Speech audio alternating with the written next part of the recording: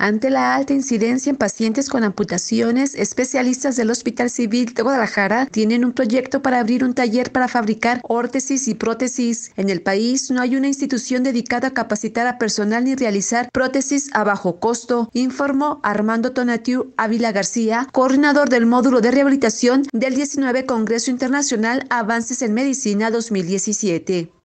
Cabe resaltar una carencia de eh, protetización en nuestro país. En México solamente se han censado 3.000 protesistas no existe como tal una institución pública en actualmente que capacite a técnicos en órtesis y prótesis, el Instituto Nacional de Rehabilitación, que era una de las instituciones que preparaba a este tipo de personal, recientemente cerró la carrera técnica que ofertaba.